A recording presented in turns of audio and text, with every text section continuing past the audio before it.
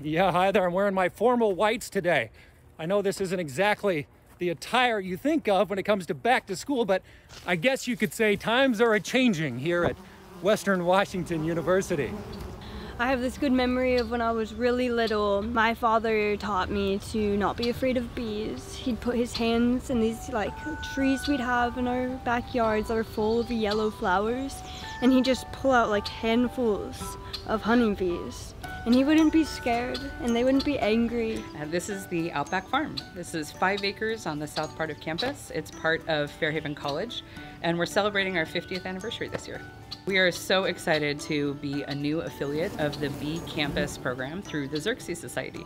So this is a way that our university has pledged to protect pollinators on campus. So this is them starting to build a comb. And part of that is education, part of that is how we deal with our landscaping and our grounds work, and part of that is our beekeeping program.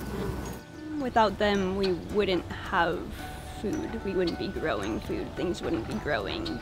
Nature would not work right. We would be at a loss without them. Honestly, this is one of the most exciting things ever for me because I just never expected that I was going to be a beekeeper. I'm pretty sure even Bigfoot would do a double take if he spotted me out here. it's five acres.